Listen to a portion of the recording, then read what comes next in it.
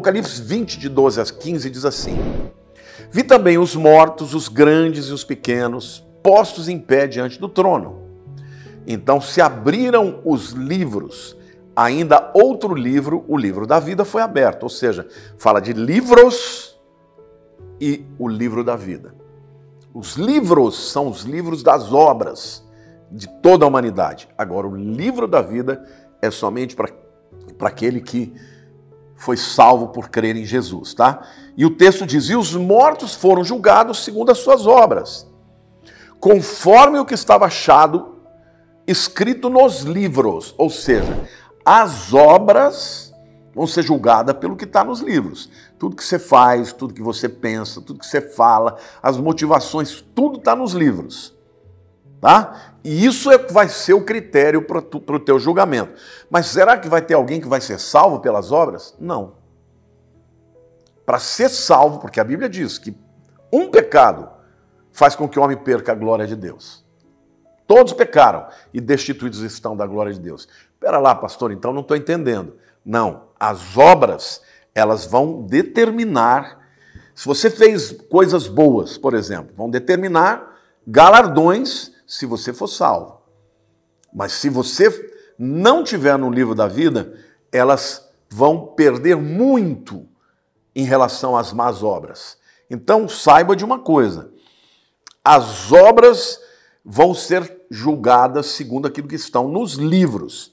E o texto diz assim: Deu o mar os mortos os que nele, os que nele estavam. A morte e o além entregaram os mortos que nele havia. E foram julgados um por um segundo as suas obras. Então a morte e o inferno foram lançados para dentro do lago de fogo. Esta é a segunda morte, o lago de fogo.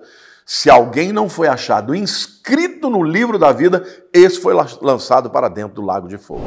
Fica claro aqui, gente, claro, claríssimo, que naquele julgamento final, o camarada que for julgado e que não creu em Jesus e, portanto, não está no livro da vida, ele vai, vai para o inferno.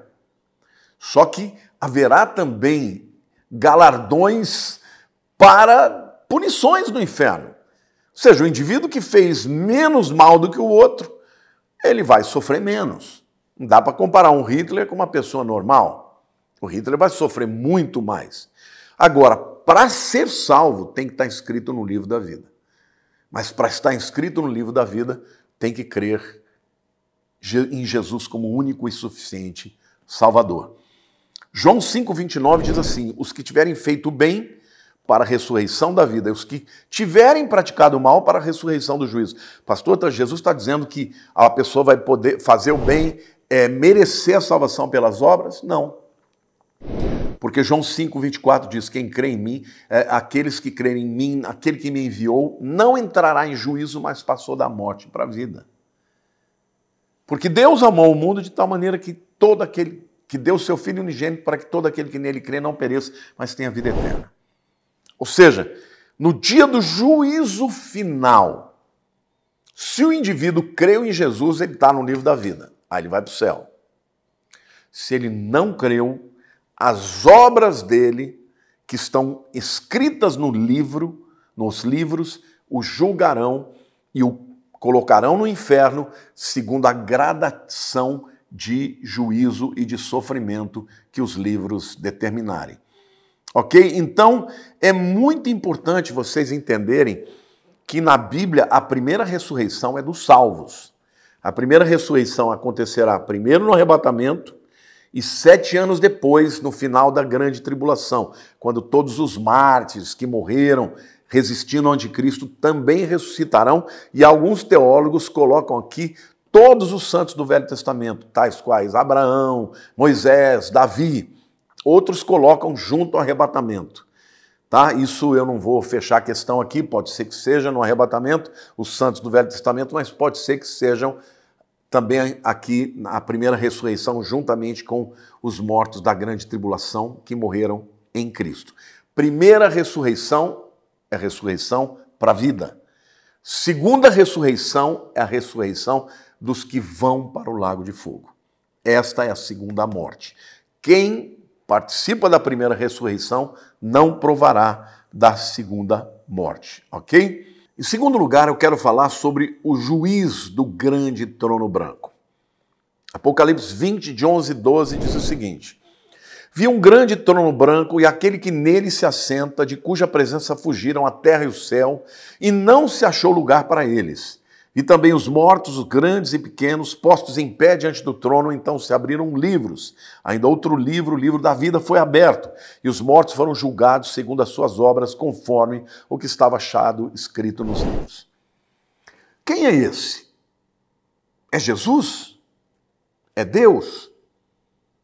A resposta é clara: é Jesus.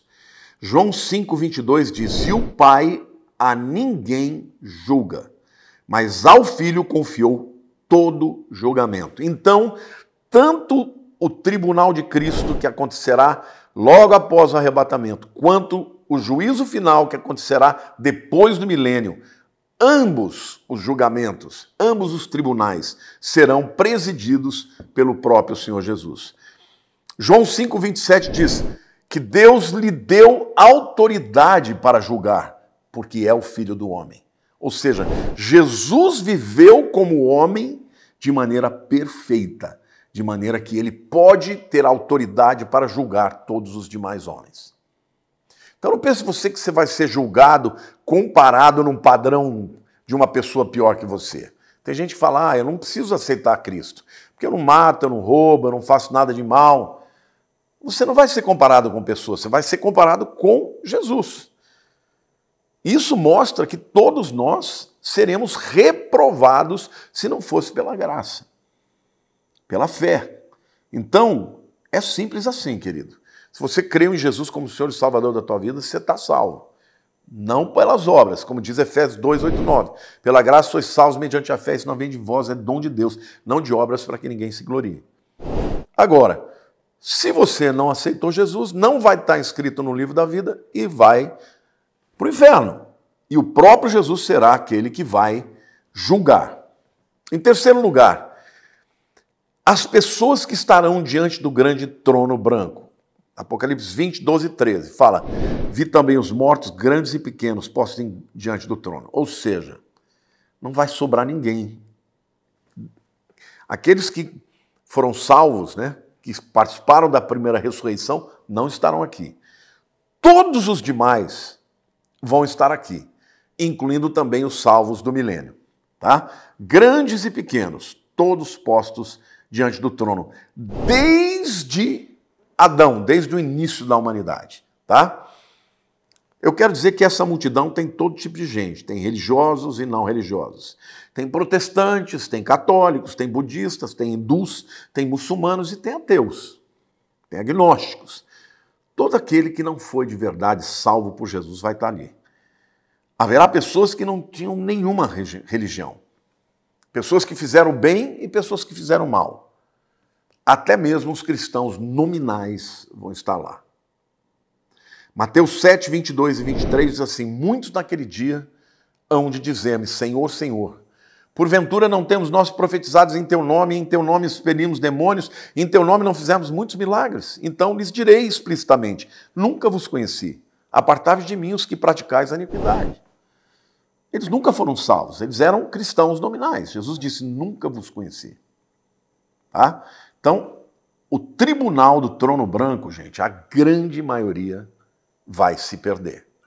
Mas vai haver também aqueles que vão ser salvos, porque eles entraram no milênio, creram em Jesus e morreram. E não passaram pelo bimá de Cristo ou tribunal de Cristo. Tá bom? Em quarto lugar, eu quero falar do propósito do trono branco. Apocalipse 20, 12 diz assim: Vi também os mortos, os grandes e pequenos, postos em pé diante do trono. Então se abriram livros e ainda outro livro, o livro da, da vida foi aberto. O propósito, então, é julgar todas as obras que estão escritas no livro. Tá? Foram abertos os livros, plural, né, porque deve ter muita coisa para escrever ali, mas um livro, o livro da vida, foi aberto. Tá? Os mortos são julgados pelas obras. E aquele que está inscrito no livro da vida, mesmo que as suas obras tenham sido más, mas eles se arrependeram e creram em Jesus, eles não recebem a condenação, porque a condenação que era merecida para eles foi para Jesus. E pela graça eles serão salvos. Então, fica aqui claro. Eu espero que muita gente que esteja me vendo já seja cristão. Mas se você não é, se você não entregou a vida para Jesus, eu quero dizer que somente Jesus pode nos salvar da condenação eterna. Apocalipse 20, 15 é claro: se alguém não foi achado inscrito no livro da, da vida, este foi lançado para dentro do lago de fogo. Então, eu quero falar para vocês sobre os inscritos no livro da vida. Em primeiro lugar, os vencedores, que são os que estão inscritos no livro da vida. Apocalipse 3, 5 diz assim: O vencedor será assim vestido de vestiduras brancas. E de modo nenhum apagarei o seu nome do livro da vida. Pelo contrário, confessarei o seu nome diante de meu Pai e diante dos seus anjos. Então, quem é o vencedor? Aquele que se manteve fiel a Jesus e creu em Jesus como Senhor e Salvador da sua vida. Esse está no livro da vida e nunca o Senhor retirará do seu lugar ou do seu livro a vida dessa pessoa. Segundo lugar, quem estará lá, inscrito no livro da vida? Todos os que creem em Jesus. João 5, 24 diz: Em verdade, em verdade vos digo, quem ouve a minha palavra e crê naquele que me enviou, tem a vida eterna, não entra em juízo, mas passou da morte para a vida. Não é maravilhoso, querido, você saber se você dependesse das suas obras, você estaria perdido definitivamente? Eu sinto um grande alívio, porque, embora eu procure ser uma pessoa melhor a cada dia, ainda tem tantas coisas na minha vida que precisam ser transformadas. Então, eu agradeço a Deus que não é pela minha capacidade, não é pela minha justiça, mas pela justiça de Cristo. Se você ainda não se entregou a Jesus como suficiente Salvador, saiba que um dia você vai encontrá-lo como seu juiz. Ou ele será para você o seu juiz ou o seu advogado. Hoje, hoje, nesse momento, ele já está à direita de, de Deus, intercedendo por você e por mim. Então, no tribunal de Cristo, que é o tribunal para os salvos, aqueles que vêm da primeira ressurreição. Mesmo depois da gente ver as nossas obras, a nossa alma né, escrutinizada, descortinada, revelada, nada que estiver oculto vai ficar oculto. A Bíblia diz que naquele dia vai ter choro, vai ter lágrimas, mas Ele enxugará dos nossos olhos toda lágrima. Quanto arrependimento vai estar naquele dia? Eu podia ter feito diferente. Eu podia ter amado mais, eu poderia ter obedecido mais, eu poderia ter vivido mais para Cristo. Mas no final, quando ele enxugar as lágrimas daquele que creu, ele vai dizer: Filho, foste fiel no pouco, sobre o muito te colocarei. Entra no gozo do teu Senhor. É pela graça. É por isso que no céu ele será glorificado, exaltado.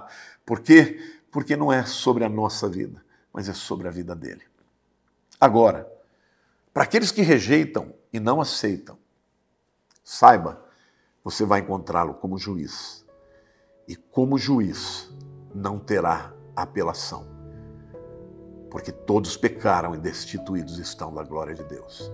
Ou você crê em Jesus como seu Salvador, ou você jamais estará inscrito no livro da vida. E o resultado disso é a condenação eterna. Pense nisso. Busque ao Senhor e confesse-o como Senhor e Salvador da sua vida, para ter vida eterna. Deus te abençoe.